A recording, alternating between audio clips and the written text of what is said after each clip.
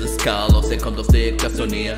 Alle fragen, was macht der Spaß denn hier? Er ist hier, um zu gewinnen. Ihr verliert gegen ihn, ist ja nicht schlimm.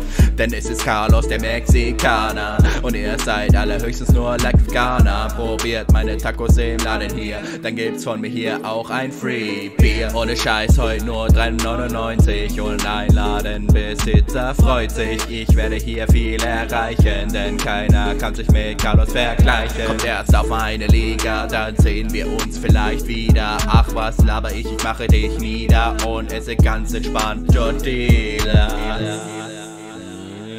Carlos auf einem mexikanischen Beach. Er wird euch zerficken und ich werde hier gewinnen.